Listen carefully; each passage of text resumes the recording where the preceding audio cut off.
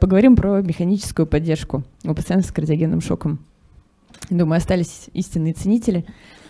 Значит, сегодня, да, о чем поговорим? Смотрите, интересная пошла динамика. А, сейчас кардиогенного шока становится больше, которого не связан с инфарктом миокарда, а связан с другими причинами. И э, в том числе это декомпенсация да, хронической сердечной недостаточности вплоть до развития кардиогенного шока. Это различные миокардиты. Да, то есть процент начал э, перебивать количество шоков, которые возникают у пациентов с острым инфарктом миокарда.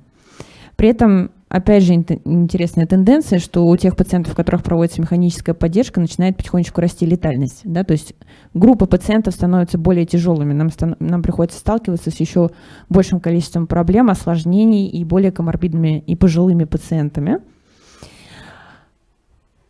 Так что касаемо консервативных методов да, стабилизации гемодинамики, ну, мы не говорим, конечно, про основное лечение да, для пациентов с острым инфарктом миокарда, все-таки это, конечно, реваскуляризация.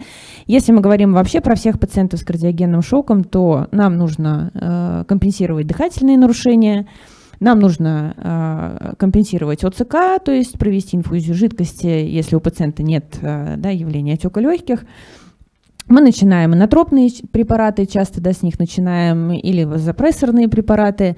Ну и уже конечный этап – это вспомогательное кровообращение именно в плане э, стабилизации гемодинамики. А, интересные данные были опубликованы в отношении того, как вазопрессоры а, влияют на наших пациентов. И в целом, да, тоже мы должны с вами понимать то, что это у нас метод необходимый для поддержания адекватного уровня давления. К сожалению, вазопрессоры, как и натропные препараты, имеют очень большое количество побочных эффектов и негативно сказываются на наших пациентах.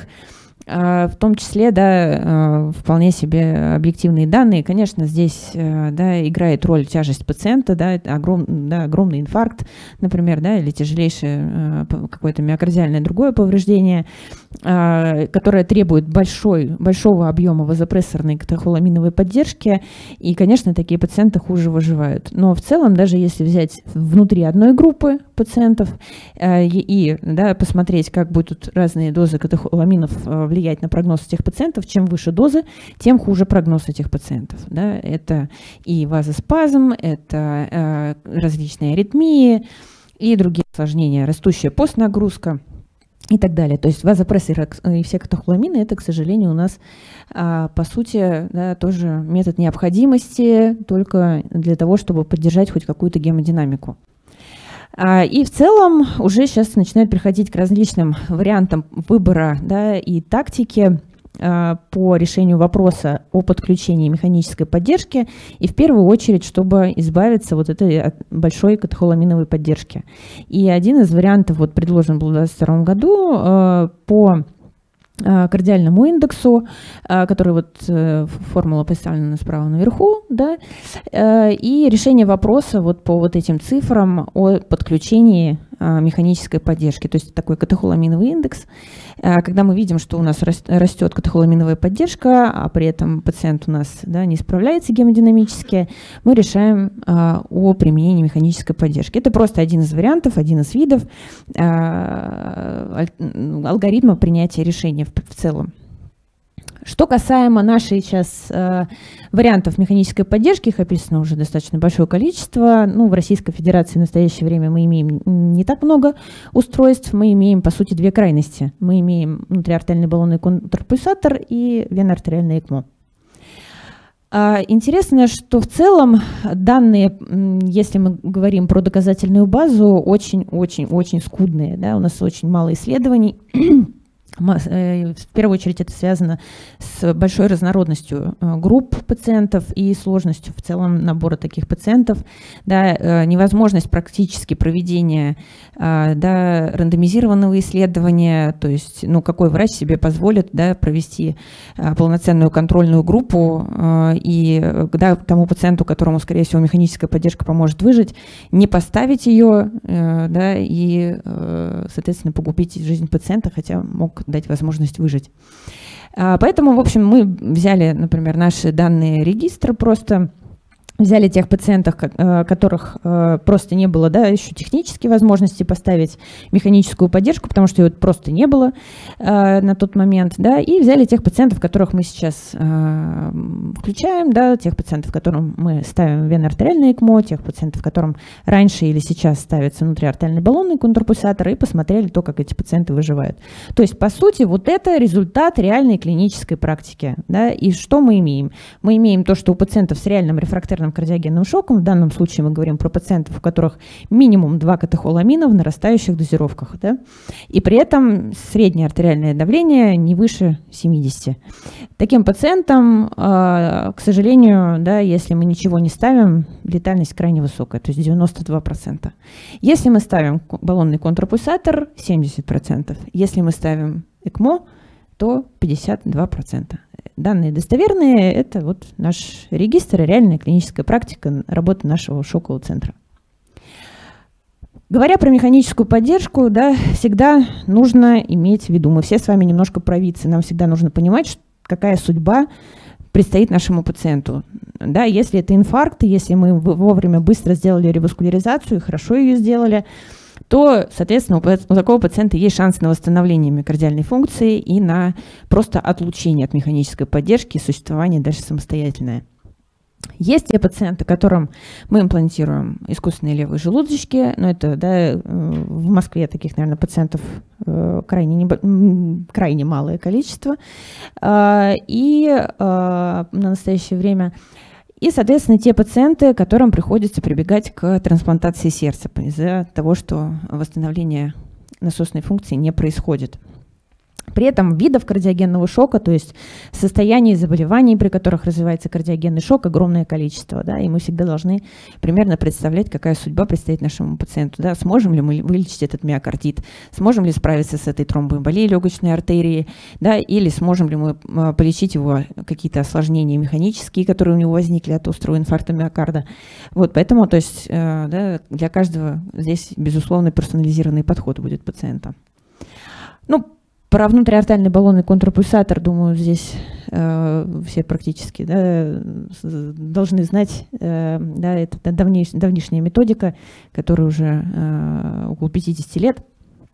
Э, баллон, который имплантируется в аорту, в диастолу раздувается, в систолу сдувается, помогает убрать постнагрузку и, к сожалению, дает очень-очень скромный, да, очень скромную прибавку к гемодинамике наших пациентов.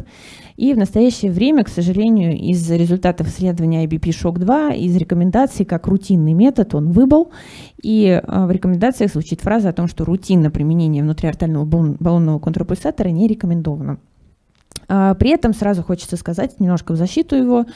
А, опять же, да, эти исследования, это все очень сложно. И когда а, да, взялись за э, субанализ этого исследования, выяснилось, что реально те пациенты, которым э, выполнялось черезкожное вмешательство, это пациенты с инфарктом, и кому ставили контрапульсатор, они заведомо были тяжелее, чем те пациенты, которым не ставили баллонный контрапульсатор. Поэтому в целом да, говорить о том, что выживаемость была одинаковая, это хороший результат. Это, да, это не, не, совсем не значит того, что э, баллон неэффективен. Вот, поэтому, собственно говоря, например, э, стала отличаться тактика, да, в Соединенных Штатах Америки баллонный контрпульсатор как применяли, так и применяют, а вот э, в Европе от него постепенно начали уходить, отказываться, да, мы видим э, всякие веселые картинки в Твиттере э, от Хельгера Тиля, когда внутриартальный баллонный контрпульсатор стоит около помойки, э, вот, со словами о том, что он нам больше не нужен. А второе устройство, да, более а, агрессивное, дающее намного больший поток, чем внутриартальный баллонный контрпульсатор, от 2,5 до 5 литров. А, разным способом может быть имплантировано, как подключичным доступом, так и бедренным доступом.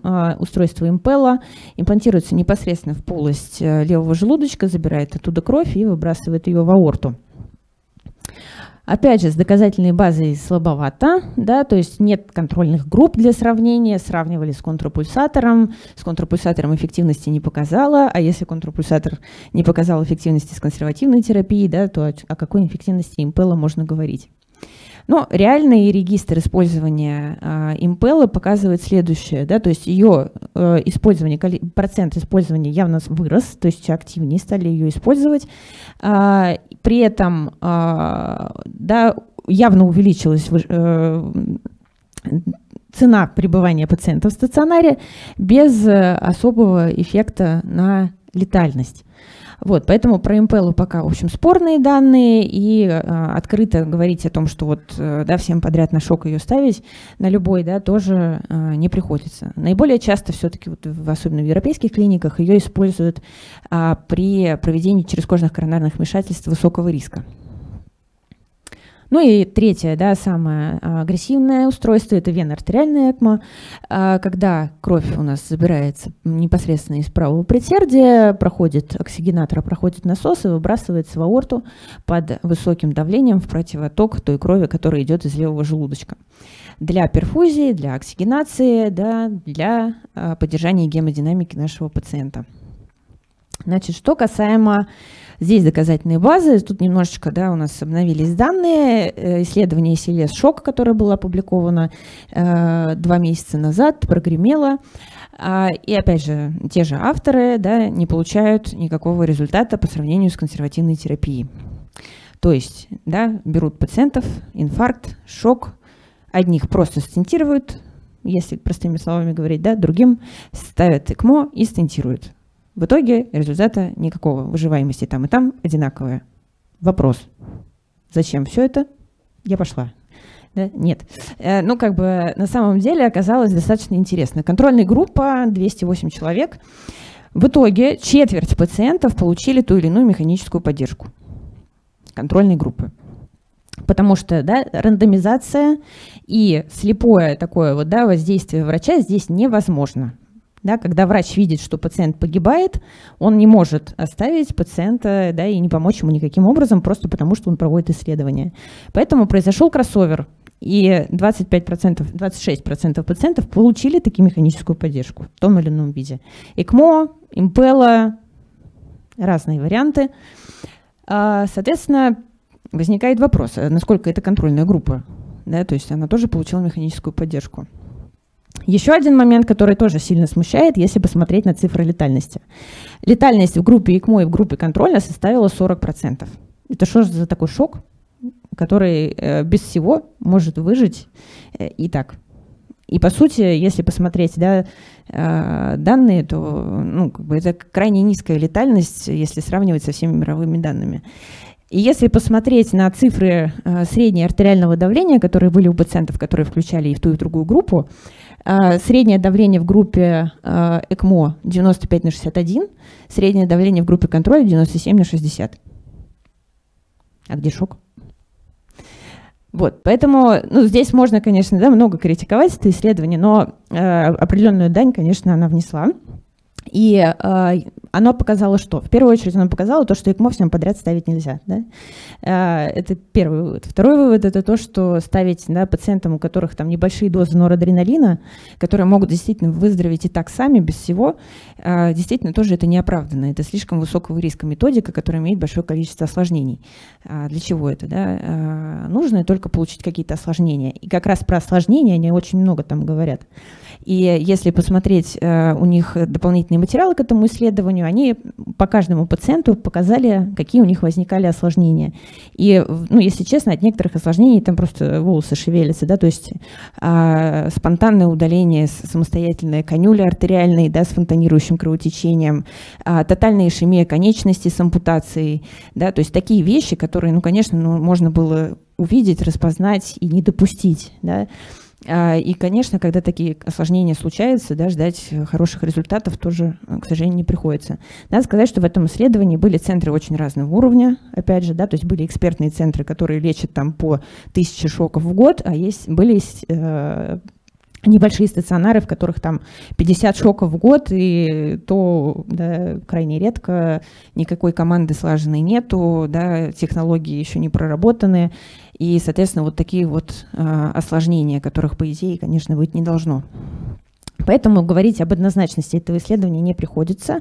И, собственно говоря, да, когда главный исследователь э, представил данные на Конгрессе, потом он приехал э, домой в свой стационар в Лейпциг, и как бы доктора первым вопросом, естественно, спросили, а и что мы делаем? Мы не будем больше применять ЭКМО? На что он сказал, надеялся, что вы этот вопрос мне не зададите. Вот. Э, в итоге они оставили все как есть и решили, что будут ставить ЭКМО только тем пациентам, у которых действительно гемодинамическая есть нестабильность, то есть которых не удается стабилизировать на инфузии и катехоламинах.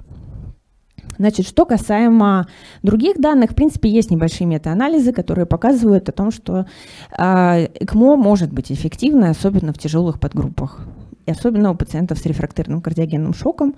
А, поэтому, в принципе, пока в рекомендациях у нас ЭКМО остается. Что касаемо наших пациентов, они действительно очень разнообразные, а, поэтому как бы стараются разными способами классифицировать. И та вот классификация, которая сейчас актуальна, это классификация SKY, а, которая делит наших пациентов на пять основных групп. А, да, начиная с группы А, это по сути группа риска, еще без шока. По сути, здесь будет, например, любой пациент с острым инфарктом миокарда. А вот уже начиная со стадии Б, это уже начинаются проявления шока. То есть Б – это Гипотензия, С – это уже классический шок с подключением катехоламинов, Д – это ухудшающийся пациент, и Е – это уже сердечно-легочная реанимация. Ну вот, собственно, на основании этой классификации тоже вот в этом году летом вышел один из вариантов, опять же, алгоритмов, как э, решать, подключать ли механическую поддержку и какую ее подключать. Ну и вот, э, да, из того, что э, чуть еще поподробнее тоже раскрыли э, признаки э, разных подгрупп, то есть, например, группа С стала чуть поподробнее описана, систолическое давление меньше 65, лактат 2,5 и как минимум один препарат. Э, или, да, сохраняющаяся гипоперфузия или гипотензия. Стадия D – это два и более лекарства и давление от 50 до 65. А, и стадия E – это реанимация или давление меньше 50, лактат более 10. Соответственно, вот эту группу решили назвать рефрактерным шоком. Надо сказать то, что рефрактерный шок а, нет однозначного определения. То есть если посмотреть разные книги, посмотреть Браунвальда, посмотреть европейские рекомендации, везде немножко по-разному формулируется. Вот, но в данном случае вот такой возможный алгоритм. И начиная со стадии С, в принципе, уже предлагают рассматривать методическую поддержку. А, да, на стадиях Д больше преимущества отдают импеле, а на стадии Е а, венартериальному ЭКМО. Но, тем не менее, со стадии С уже можно ЭКМО рассматривать. Что касаемо э, наших сейчас реальности, нашей реальности, да, это наш э, приказ департамента о том, как мы э, принимаем решение об имплантации ЭКМО, кому мы вообще рассматриваем, да, это пациенты с остановкой кровообращения, да, с острым инфарктом миокарда, у которых случилась фибрилляция желудочка или желудочковая тахикардия, мы не, не можем, да, восстановить гемодинамику в течение 15 минут, и при этом реанимация начата как минимум в течение первых 5 минут с момента остановки кровообращения и остановка, естественно, при свидетелях.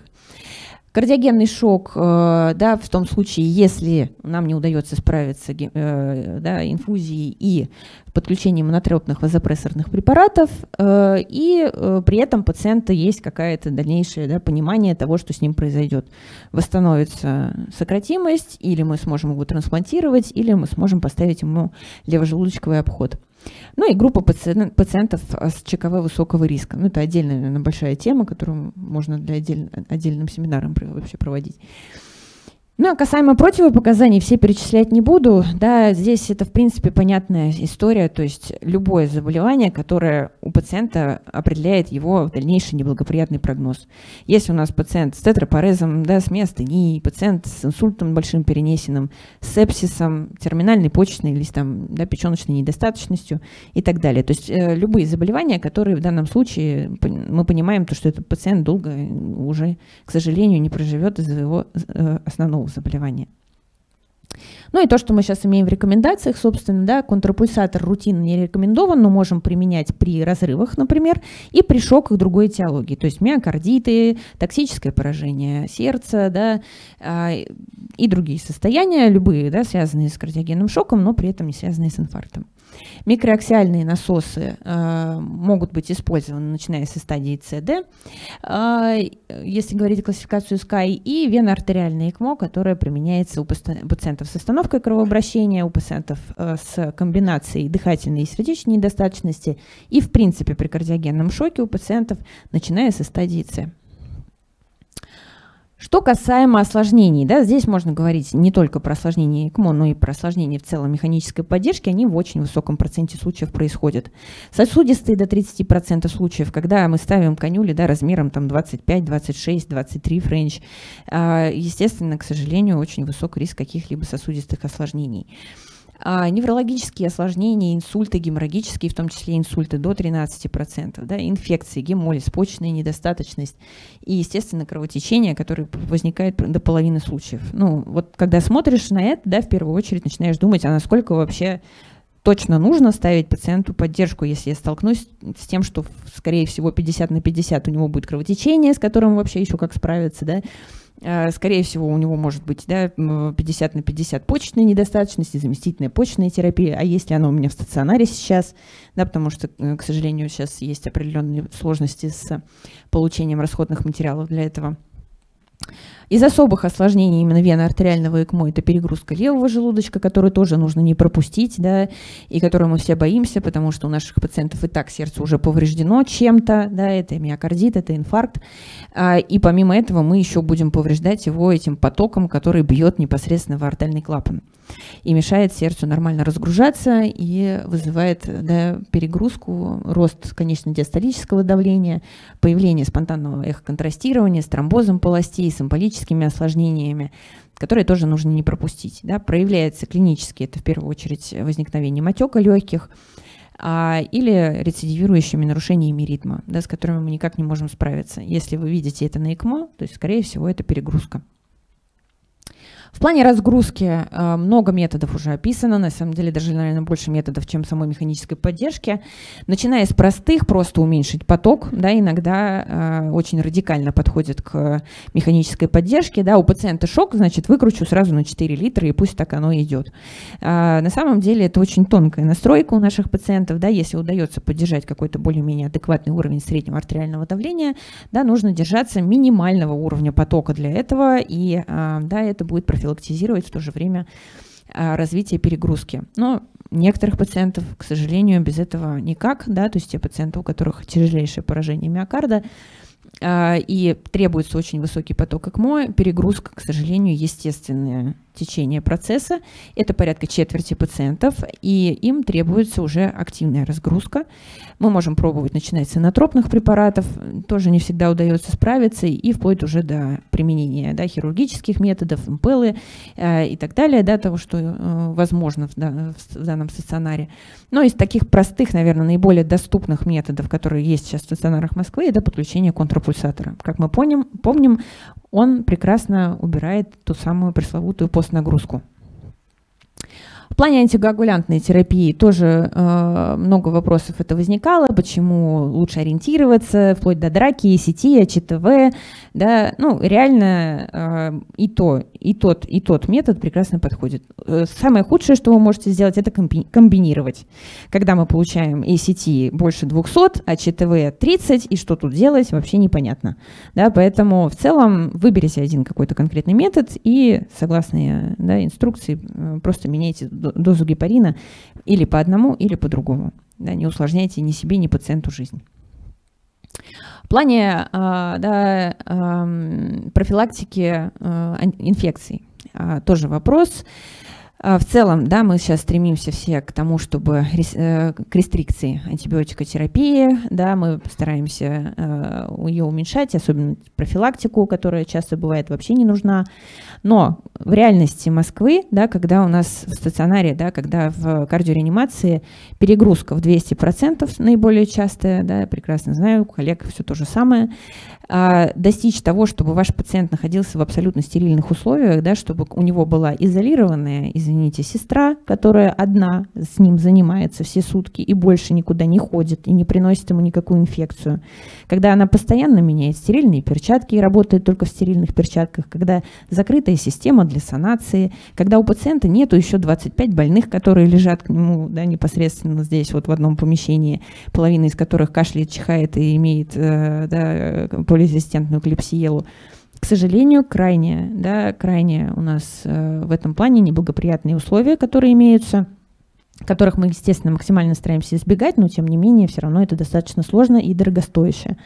Поэтому проценты развития инфекционных осложнений достаточно высокий, и часто приходится все-таки прибегать к антибиотикопрофилактике. А, реальность такова, что если всем подряд да, проводить массивную антибиотикотерапию, мы реально просто удлиняем срок пребывания нашего пациента в стационаре, а, мы а, да, утяжеляем течение инфекционного процесса и усложняем себе подбор а, антибиотикотерапии дальнейшей, когда у пациента уже разовьется какая-то внутригоспитальная инфекция. Поэтому 10 раз здесь подумать, проработать какие-то алгоритмы для своего собственного стационара, посмотреть, какие микроорганизмы у вас встречаются, и да, по возможности применять профилактическую антибиотикотерапию только непосредственно в момент проведения процедуры а в дальнейшем уже решать по росту воспалительных маркеров и проявлению инфекционных процессов и заболеваний. В плане профилактики, в первую очередь, везде, любые какие бы книги и рекомендации не открыли, гигиена рук медицинского персонала. Да, все подряд не ходят, э, да, работает желательно один человек с этим пациентом э, и старательно моет руки до, после и во время работы с этим пациентом. Э, максимальная изоляция контура ЭКМО, тоже э, знаю, да, частая история. Сейчас прокапаем прямо в контур, вообще быстро прольется кровь, быстро прольется там гелофузин или что-то, что вы захотели провести инфузионную терапию. И вот это вот подключение идет постоянное внутрь контура. Да? Чем меньше мы туда лазим, тем меньше инфекционных осложнений. Э, в плане дезинфекции из средств у нас да, хлоргексидин из того, что мы используем чаще всего.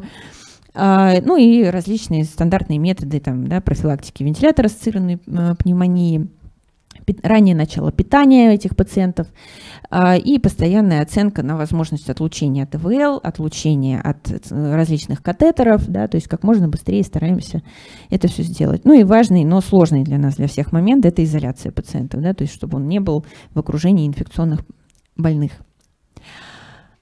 Ну вот интересная, да, тоже история по комбинации ЭКМО с контрапульсатором, и все больше об этом говорят, о том, что ЭКМО плюс контрапульсатор более эффективно и лучше влияет на прогноз наших пациентов с шоком, чем изолированное применение ЭКМО.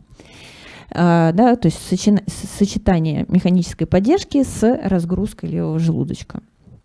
Ну и, собственно, да, как разгрузка а, по данным метаанализов контрапульсатор действительно показал себя лучше, чем остальные методы. В плане того, как доставить ЭКМО, опять же, если у нашего пациента рефрактерный шок или остановка кровообращения на момент поступления, лучше сначала поставьте аппарат, а потом уже делайте стентирование. Да?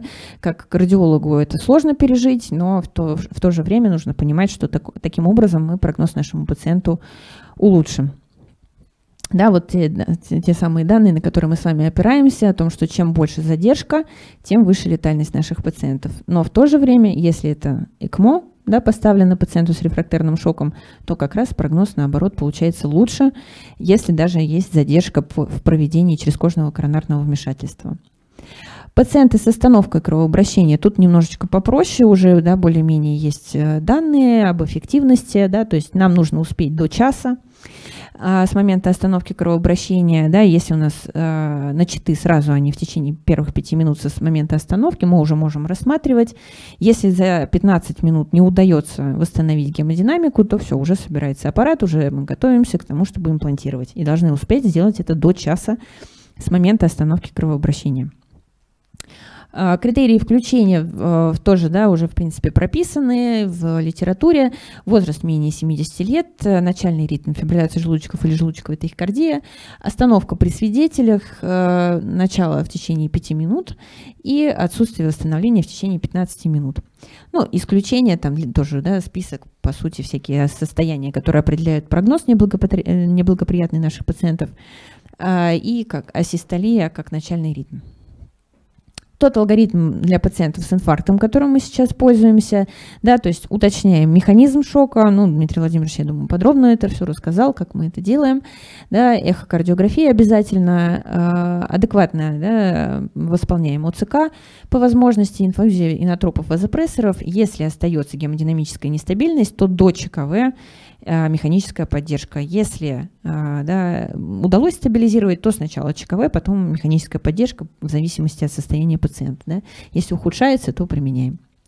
Те результаты, которые мы сейчас имеем, э, да, это 50% выживаемость пациентов. Мы еще раз говорим про максимальную тяжесть состояния пациентов. 75% пациентов перенесли сердечно-легочную реанимацию перед имплантацией вены артериального ЭКМО из наших пациентов. А, да, это все пациенты с рефрактерным исключительно шоком. При этом, если говорить про негативные исходы, а, неконтролируемая инфекция и прогрессирование истинного кардиогенного шока – надо сказать то, что в принципе есть а, выходы из этого, да, прогрессирование истинного кардиогенного шока. Если мы видим таких пациентов, да, их можно больше дальше рассматривать на а, какие-то методы да, постоянной поддержки гемодинамики. Это или левожелудочковый обход, что является в принципе неплохой перспективой, или трансплантация сердца. Но, к сожалению, по трансплантацию далеко не все подходят, особенно да, по, по возрасту. Вот у нас средний возраст пациентов это 70 лет, да, от 68 до 70. Ну и, соответственно, да, мост. Куда у нас этот мост ведет с вами? Механическая поддержка ЭКМО, да, он ведет либо к восстановлению миокарда, либо к трансплантации, либо к лев, искусственному левому желудочку. Если мы говорим про восстановление, прекрасный, идеальный вариант, наш пациент поправляется, мы видим, да, то, что у него растет фракция выброса, у него улучшается состояние, мы видим, у него дыхательная функция сохранилась, да, то есть прям конкретные шаги. А, есть несколько, в принципе, алгоритмов принятия решения о декануляции, ну вот таким пользуемся мы, да, то есть э, мы убедились, что причина была обратима, что пациент есть, имеет положительную динамику. А, стабильная гемодинамика в течение суток, э, да, среднее давление более 60 мм ртутного столба, оцениваем функцию легких, э, индекс оксигенации, а, пробуем проводить тест на отлучение от ЭКМО, да, то есть вплоть до э, снижения на одну треть, да, то есть одна треть от исходного уровня э, потока э, и, соответственно, э, оценка эхо обязательно, фракции выброса более 20 как минимум процентов. Э, оцениваем VTI на аорте, смотрим, да, если есть возможность инвазивного мониторинга, сердечный индекс э, и давление заклинивания, и оцениваем обязательно правый желудочек, его возможности. Если да, все, все критерии соответствуют, мы деканюлируем пациента. Во время деканюляции обязательно нужно не забыть про мертвое пространство. А, все очень просто, когда идет хирургическая деканюляция. Вот в нашем стационаре 100% отлучений – это хирургическая деканюляция. А, большое спасибо за это нашим хирургам. Да, они всегда находят возможность для этого. А, например, в Европе или в Америке хирурги просто не тратят на это время. Да? То есть их время так дорого и так важно, что какое-то там удаление ИКМО, да, они его просто не выполняют, потому что не, не считают это таким важным э, мероприятием. Поэтому приходится удалять это эндоваскулярно. Эндоваскулярно это делать очень сложно. Да? Это нужно инструмент. Э, есть ли сейчас в Москве, Андрей Вячеславович, возможности для эндоваскулярного удаления? Устройства соответствующие есть или нет? Ну, во-первых, это дороже просто будет, а во-вторых, э, сейчас они есть, но были проблемы с поставками. Проглайд основное, да, ушивающее устройство. И там, как при ТАВе, кто в клиниках занимается, знает, что нужно предушивать то есть идеальное наложение проглайда все-таки это в шестифренчевый интродюсер, э, наложение идеального шва, уже потом расширение до канюликмо. По, после, после 16 френчевого, конечно, можно проглайдом э, выполнять ушивание, но есть высокий риск того, что вы потратите избыточное количество этого инструмента, так э, и не захватив нормальные края э, расширенной артерии. Это лучше делать до но тем не менее просто цена. Хирургия mm. да, в нашем случае дешевле. Да, и второй момент это как раз-таки вот это самое пресловутое мертвое пространство, которое у нас находится между интродюсером, который у нас обеспечивает перфузию бедренной артерии, и а, канюлей. Соответственно, это место очень высокое а, в плане тромбогенности. И а, удалить хирургически все эти тромбы очень легко, да, с помощью а, полузакрытой тромбоктомии, когда тромфогарти это выполняется. А, все сделали прекрасно, да, все получилось. Эндоваскулярно это намного сложнее, и гораздо чаще встречаются эмболические осложнения и кровотечения. А, поэтому э, в целом, наверное, можно говорить о том, что хирургическое удаление – это все-таки удаление выбора. Но а, в первую очередь, естественно, ориентировка идет на возможности стационара. Если у вас нет ни сосудистых, ни кардиохирургов, да, то, к сожалению, у вас, скорее всего, это не очень получится, да, потому что найти человека, который приедет из другого стационара ради удаления ЭКМО, наверное, не выйдет. А, что касаемо э, возможности левожелудочкового обхода. Ну, в целом, конечно, на остроте состояние пациентов на левожелудочковый обход не берут. То есть таких пациентов приходится длительно вести на э, да, временной механической поддержке, то есть там неделями, 2-3 недели на ЭКМО. Если пациент переносит, если приносит все инфекционные осложнения, то такому пациенту можно рассмотреть имплантацию искусственного левого желудочка. Это возможный вариант выжить такому больному. А, есть варианты и а, биват, да, так называемые, когда имплантируются сразу два устройства, и в правый желудочек, и в левый. А в Российской Федерации пока недоступная опция. В плане отборов пациентов на искусственный левый желудочек, извините, позволю небольшую рекламу, да, у нас сейчас проводится отбор таких пациентов, если вы встретите их, э, да, то, пожалуйста, Обращайтесь, а, я являюсь координатором программы, можете взять мои контакты. А, да, мы, мы отбираем сейчас преимущественно пациентов с хронической сердечной недостаточностью, но если у вас будет пациент, э, да, который принес острый инфаркт миокарда и в настоящее время находится в тяжелой да, сердечной недостаточности, декомпенсации, является потенциальным для искусственного левого желудочка, мы тоже будем его рассматривать, да, поэтому не стесняйтесь, обращайтесь.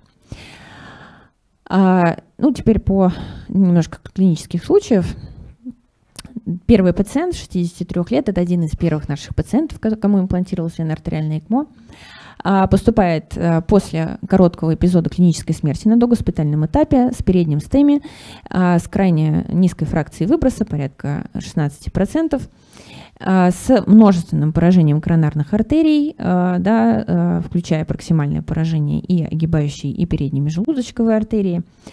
Собственно говоря, и видим, какой красивый ствол да, а, со стволовым поражением левой коронарной артерии. А, собственно говоря, непосредственно до проведения черезкожного вмешательства принято решение об имплантации вен артериального ЭКМО. А, у пациента на момент да, имплантации ЭКМО явление кардиогенного шока, артериальное давление систолическое не выше 65 мм тутного столба без хорошего эффекта на катехоламин и инфузионную терапию. А, имплантирована система вен артериального ЭКМО периферическим доступом, бедренная артерия, бедренная вена. Мы это делаем контралатерально чаще всего для профилактики ишемии. А, в дальнейшем, на, в первые же сутки у пациента потребность в достаточно большом потоке вен артериального ЭКМО и развитие а, да, перегрузки левого желудочка. У пациента не купирующийся отек легких, потребность в том, чтобы наращивать ПДКВ а, на, при проведении искусственной вентиляции легких, диуретическая терапия без особого эффекта, Инотропные препараты тоже эффекта не дают. Принято решение о том, чтобы поставить пациенту дополнительно внутриартальный баллонный контрпульсатор с целью разгрузки. А на комбинации методик у пациента постепенно начинает улучшаться сократимость. А, да, фракция выброса у нас в конечном счете возросла, возросла вплоть до 35%. Мы столкнулись еще с достаточно большим количеством инфекционных осложнений. Пациент а, месяц пребывал в стационаре, но в конечном счете был все-таки выписан. А, вот таким вот образом, причем а, как бы последовательность удаления была такая, что а, пациенту, да, сначала была комбинация ЭКМО и контрапульсатора, затем убрали ЭКМО, затем убрали контрапульсатор. То есть последовательность была такая. Следующий случай. Пациент 70 лет э, был госпитализирован к нам уже с повторным инфарктом миокарда. С первым он проходил лечение в другом стационаре. Там было выполнено стентирование передней межжелудочковой артерии. И, к сожалению, после выписки пациент э, не понял, не услышал, в общем, не принимал э, двойную дезагрегантную терапию. И на третьи сутки развития рецидив острого инфаркта миокарда он поступает к нам опять же с низкой фракцией выброса 16%. А, с а, да, качающим, по сути, вот видим там пара сегментов буквально э, сократимости в боковой стенке. А, пациенту выполнено стентирование передней межжелудочковой артерии, но сохраняется гемодинамическая нестабильность, э, начинают возникать рецидивы желудочковых тахикардий с развитием кардиогенного шока. А, пациент переведен на венно-артериальное ЭКМО. А, его, кстати, доступ осуществляли а, комбинированным способом. У нас это происходило в дневное время, сосудистые хирурги были свободны и помогли нам выполнить, сердечно-сосудистые, помогли, помогли нам выполнить доступ открытым способом. Надо сказать, что это тоже сильно упрощает потом удаление и уменьшает количество э, геморрагических осложнений и эмболий. Соответственно, пациент э, продолжалась венно-артериальное ЭКМО, однако улучшение сократимости не происходило. Какие возможны варианты? Ну, 70 лет, да, это один из первых наших пациентов, которого мы перевели все-таки на трансплантацию сердца. Как оказалось, несмотря на свои 70 лет, он весьма активный да, пациент был. Мы смогли его экстубировать на вторые сутки пребывания в стационаре, несмотря на продолжающееся венно-артериальное ЭКМО. А, да, поговорили с ним, он был физиком, а, вот, вполне абсолютно, да, то есть контактный, понимающий все человек. А, мы его обследовали, провели ему компьютерную томографию, несмотря на продолжающийся ЭКМО, да, то есть нужно было свозить пациента на КТ при этом, посмотреть и головной мозг, и да, органы грудной и брюшной полости, потому что без обследования, естественно, на трансплантацию таких пациентов не возьмут, тем более в 70 лет. А, вот. И в конечном счете нет, оказалось то, что никаких значимых сопутствующих нет. То есть никакого реального противопоказания к трансплантации, как бы мы ни хотели, да, а, как бы не хотели трансплантологи, не нашли. И трансплантологи взялись. А, мы его транспортировали, ЦЕМП нам в этом очень сильно помог, и сейчас они, наверное, одни из лучших в плане транспортировки таких тяжелых пациентов. А, и, соответственно, такого пациента мы э, да, отправили на, трансплантацию. Буквально там в течение первых двух-трех дней он был взят на трансплантацию, ему трансплантировано сердце, и он живет, он живет по сей день, он работает, он активен, а, и крайне нам благодарен. А, Причем да, достаточно интересная история, потому что мы через год э, решили его а, вызвонить, спросить, как он себя чувствует. И, как оказалось, он абсолютно амнезировал все, что происходило у нас в стационаре. То есть он помнил то, что происходило, когда была трансплантация, а вот то, что было до этого, он не помнил вообще. И когда мы с ним вышли на связь, он сказал, ой, а я так хотел найти да, и э, связаться с вами и сказать вам слова спасибо, потому что ничего абсолютно в памяти не осталось, э, выписку ему тогда не отдали. А, ну и, да, пару слов про нашу команду. Естественно, да, уже говорили про команду для а, лечения тромбоэмболии легочной артерии. Та же команда у нас занимается и лечением а, пациентов с кардиогенным шоком, вне зависимости от этиологии этого шока. А, и в нее вовлечены, по сути, люди целого корпуса. Да, то есть это огромный труд большого количества людей. А, это и хирурги, и а, да, кардиохирургическая реанимация, и а, просто наш кардиореанимационный блок, и, естественно, кардиологи, которые потом длительно этих пациентов наблюдают, эндоваскулярные специалисты, безусловно, реабилитация, да, то есть неврологи, все, все, все вовлечены в лечение и помощь этим пациентам, за что им большое спасибо и за такие хорошие результаты, которые мы в настоящее время имеем. Благодарю за внимание. Есть ли у вас какие-то вопросы?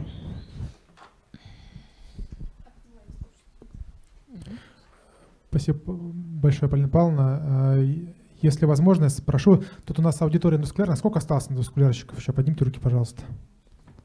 Половина. А, я спрошу такой вопрос, он немножко провокационный, может быть, даже камень в наш огород, а, но тем не менее эта тема актуальна и ее всегда обсуждают больше кулуарно. Вот ваше личное мнение, может быть, ощущение и ориентация на свой опыт – как бы вы хотели, чтобы вот мы, все-таки мы э, касательно ЭКМО, наверное, делаем наименьшую работу. Я бы сказал, что процентов 5-10 от всего лечения, потому что мы ЭКМО ставим только на этапе кануляции, а большая часть лечения пациентов это все-таки пациент реанимационный. Как вот вы считаете, как бы вы хотели, чтобы мы канюли ставили в одну сторону, в две стороны? Как лучше, под УЗИ, без УЗИ? Вот ваш опыт, анализируя наши э, случаи, да, мы не всегда делаем под УЗИ, мы не всегда ставим, вот бывает, что по-разному, и вот что вы по этому поводу скажете? А, ну, во-первых, э, я считаю, что все-таки э, не стоит браться тем, у кого вообще нет никакого опыта. Да? То есть лучше все-таки сначала а, посмотреть где-то, съездить. Да, есть какие-то более-менее плановые больные, которым да, там на ЧКВ высокого риска ставится веноартериальный ЭКМО. Есть, в конце концов, пациенты, которым АИК проводится. Да? А, и, то есть не беритесь, особенно у экстренных больных, впервые да, ставить э, конюли. Да? То есть если есть возможность где-то поучиться, лучше эту возможность реализовать. а, потому что это действительно есть какие-то да, маленькие подводные камни, с которыми ты можешь столкнуться, да, и с которыми мы в том числе сталкивались, да, там такие простые вещи, как, например, пункция артерии, да, что она должна быть осуществлена ниже попартовой складки, да, казалось бы, простая вещь, да, но когда это экстренная ситуация, когда пациент на сердечной легочной реанимации на Лукасе, да, то, естественно, куда там уже поставил, туда поставил, да, а вот потом мы сталкиваемся с такими кровотечениями, с которыми иногда очень тяжело справиться, поэтому это первое, да. Второе, то, что э, в плане технических э, вариантов э, контрлатеральная канюляция, она проще для пациента в плане э, меньшего количества э, процентов развития ишемических осложнений для конечности и эмболических осложнений. А третье, наверное, ну пару слов все-таки расскажу про размер конюль, к чему мы сейчас потихонечку начинаем приходить. Оказывается, что совсем не обязательно ставить какие-то огромные конюли, да, чтобы обеспечить огромный поток а, нашим пациентам. А, мы все больше при, придерживаемся рестриктивной тактики и выбираем размер артериальной конюли не больше 16. 16 артериальная конюля, да, и венозная конюля там 22-23 френч. И в итоге нам достаточно потока, и при этом вообще не возникает ишемии конечности. Более того, у нас уже есть э, ряд случаев, когда мы даже не ставили отводящую конюлю в бедренную артерию. Э, и э, спокойно абсолютно обходились без этого, без возникновения острой ишемии конечности. Да, то есть, опять же, меньше геморрагических осложнений от да, того, что мы уменьшаем размер конюли. Но, конечно, когда мы говорим про да, крупного пациента с остановкой кровообращения, такой вот маленькой конюли, скорее всего, не обойтись. Наверное, все. А вот все же, как лучше ставить в одну сторону обе конюли или в разные стороны? Ну вот, да, то, что я уже упомянула вскользь, э, контрлатерально лучше ставить с двух сторон, да, одну с одной стороны венозную, с другой стороны артериальную. Это, опять же, вызывает меньшее количество осложнений. Это доказано, да? Это доказано, да, есть, Спасибо. Э, в принципе, данные. Так, у нас есть онлайн еще вопросы. Ну, сейчас, наверное, в конце вернемся. Тут есть про тромболизис вопрос. А, и, значит, первый вопрос. Каков ваш взгляд на ЭКМО СЛР при внебольничной остановке кровообращения? А, отличный вопрос. Спасибо. Как раз Дмитрий Владимирович уже а, коротко по этому вопросу прошелся. А, что касаемо внебольничной остановки кровообращения, ну, конечно, здесь очень взвешенно надо к этому подходить. Крайне маленький процент, к сожалению, у нас пациентов доставляется вот в это окно, то есть меньше часа с момента остановки кровообращения. Это обусловлено техническим моментом, да, то есть невозможно все скорые помощи, к сожалению, оснастить э, да, аппаратом механической компрессии и всем необходимым для проведения сердечно-легочной реанимации. Поэтому получается, что есть вот эта цепочка, когда к пациенту с остановкой кровообращения приезжает или, да, или при просто неподготовленной бригаде развивается остановка кровообращения, они начинают на месте реанимационные мероприятия, на себя вызывают бригаду, у которой есть все необходимое, да, это все, естественно, время. И, к сожалению, получается, что пациент приезжает уже там через 60, 70, 80, иногда 90 минут с момента остановки кровообращения. Ну, о какой поддержке здесь может быть идти речь, да? К сожалению, да, здесь только речь идет уже про трансплантологию. Вот, если есть возможность, да, если пациента недавно развилась остановка кровообращения, это вот буквально э, наш последний случай – у пациента развилась остановка кровообращения при бригаде скорой помощи.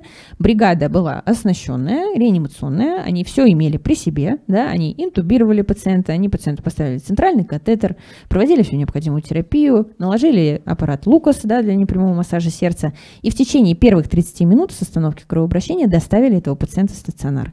На момент поступления желудочковой тахикардии пациенту э, восстановлен ритм, э, сохраняются явления шока, он транспортирован в рентгеноперационную операционную, там имплантировано веноартериальное ЭКМО, выполнено э, черезкожное вмешательство. Мы все, честно сказать, стояли просто скрестив пальцы о том, чтобы да, у него восстановился неврологический дефицит. И он восстановился, да, он восстановился полностью. Это абсолютно сохранный человек, который сейчас у нас ходит по кардиологическому отделению, а, да, и родственники э, да, в полном недоумении, вообще э, в шоке, что так могло быть. Да, то есть первые дни, конечно, были крайне тяжелые, было совершенно непонятно, что с ним будет происходить и будет ли он восстанавливаться. Поэтому, да, единицы такие есть. Но взвешенно, очень взвешенно подходим, да, то есть если у пациента, еще раз, да, с момента остановки кровообращения меньше часа, да, отсутствие противопоказаний. А, если говорить про анализы, да, некоторые руководствуются, например, результатами КШС и лактатом. У нашего пациента лактат был более 15, он не определялся. Да, и тем не менее он выжил и остался без неврологического дефицита. То есть тоже здесь какой-то однозначный, э, да, сложно, не могу сказать, э, да, нет, нет такого критерия, как лактат, например. А, Еще один вопрос э, про деканюляцию. И э, да, устанавливается фракция кислородная 21%. Не добавляет ли это примеси неоксигенированной крови в аорту, ухудшая доставку к периферическим тканям, нарушая качество измерения индекса оксигенации? Но все-таки 21% это норма, это не, э, не оксигенированная кровь, да, поэтому если наш пациент выздоравливает, если у него нет тяжелой дисфункции легочной или сердечной, то а, да, как раз-таки это и будет нашим показателем для того, чтобы провести деканюляцию. Но если пациент с этим не справляется, соответственно, мы вполне себе можем рассмотреть переход или на веновенозное ЭКМО, на варианты венно-артерио-венозного ЭКМО, да, и, или просто продолжение венно-артериального ЭКМО, если это необходимо. Вот. Если есть еще вопросы по теме именно кардиогенного шока, механической поддержки. Вот там есть вопрос? Там вот есть, есть. Да.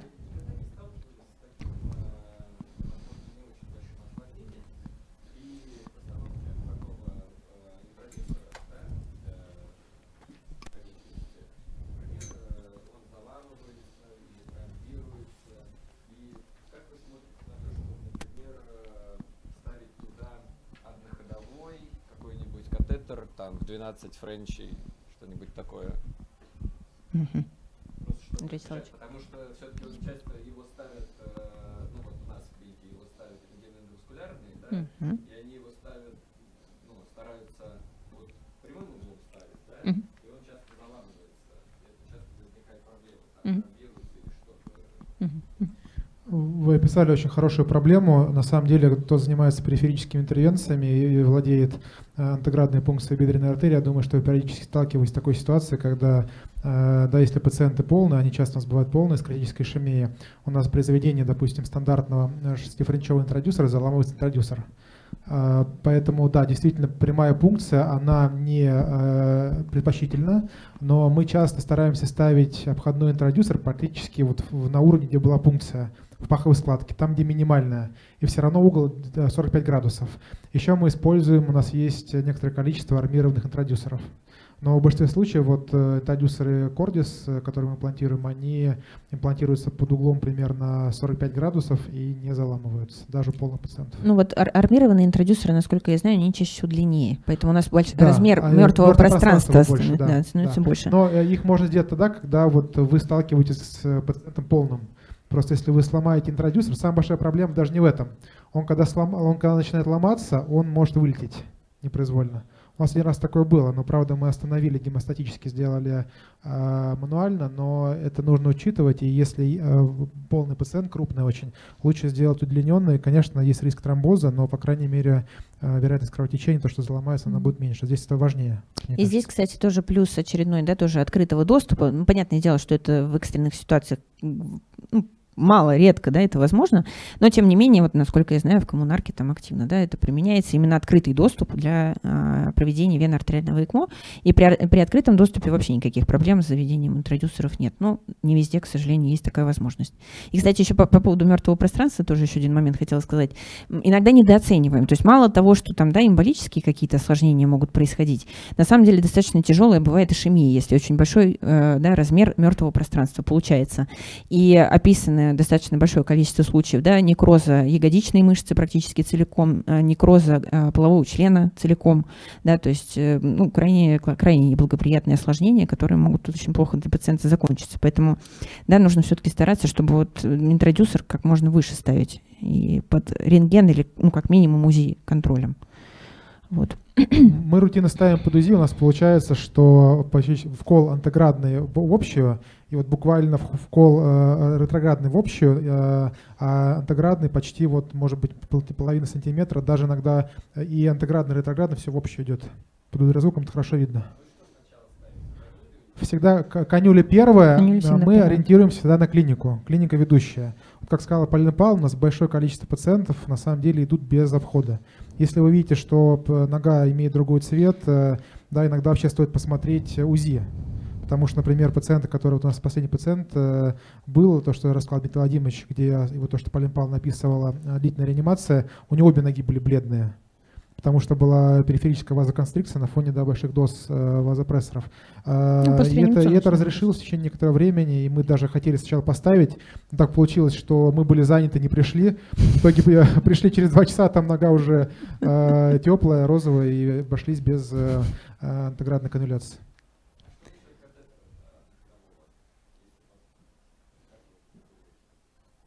А ходовой, вы что имеете в виду?